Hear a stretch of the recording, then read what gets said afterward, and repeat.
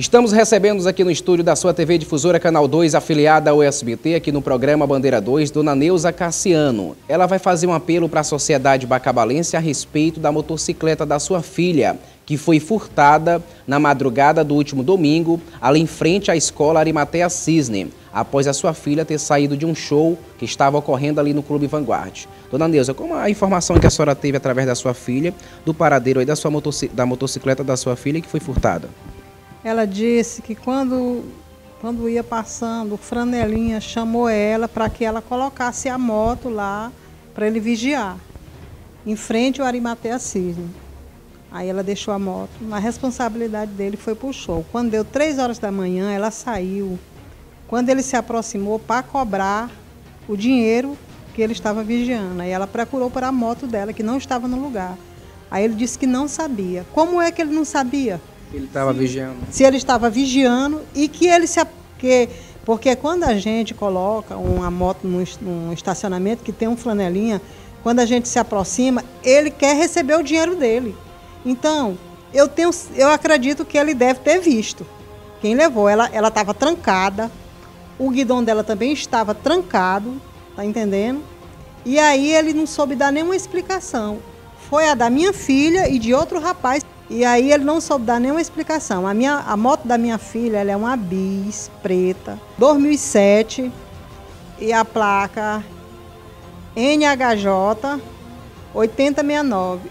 Gente, eu estou pedindo encarecidamente, assim, alguém que souber assim, de alguma coisa, que, que, nos, que nos informe. Pode ligar aqui para o programa do Romário, porque ele tem uma grande audiência, que foi o motivo de eu ter vindo procurar ele porque eu acredito no programa do Romário.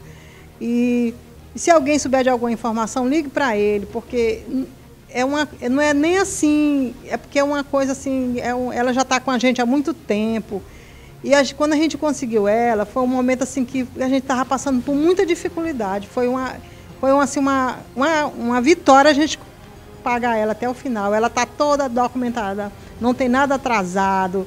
Inclusive, o documento dela está dentro do, do, da, daquele porta-mala dela, né? E eu estou pedindo encarecidamente que alguém souber, avise a polícia, porque, sinceramente, eu já, eu já perdi tanta coisa na minha vida, meu Deus. Flanelinha, as características dele, dona Neuza? Ele é branco, Estava usando um boné azul no dia. Eu sei que ele vende lanche na rua e ele mora no bairro São Lucas, né? Mas eu vou localizar ele também, porque ele vai ter que me dar uma, uma explicação. Que eu acredito que ele deve ter visto. Porque ele não estava lá, não era para vigiar. Ele não estava na responsabilidade o que Ele chegou a falar após o. A... Ele ficou simplesmente dizendo que não, que, não, que, não tinha, que não tinha visto, que não tinha visto, que não tinha. Como é que ele não viu? Se ele tava cobrando o dinheiro ele daqui. cobrando o dinheiro. Quer dizer que para cobrar ele vê. E na hora que o ladrão leva, ele não vê. Ele vai ter que dar uma explicação. Eu vou procurar o meu direito e eu garanto que eu vou encontrar, porque eu pago meus impostos. E ela, a gente ganhou com honestidade, nós somos pessoas honestas e eu não vou, não vou me calar, não. Vai ser mais uma batalha de novo na minha vida. Mas a minha moto, eu tenho muita fé em Deus que eu vou encontrar ela, porque Deus é maior. Aqui vimos a dona Neuza, o espaço está aberto, caso esse flanelinha queira se pronunciar também a respeito aí, porque ele que teria pedido para essa senhora, a filha da dona Neuza, ter deixado a motocicleta para ele vigiar. E quando ela chegou por volta das 3 horas da madrugada do último domingo, aqui no centro da cidade de Bacabal, a sua motocicleta já não estava mais no local.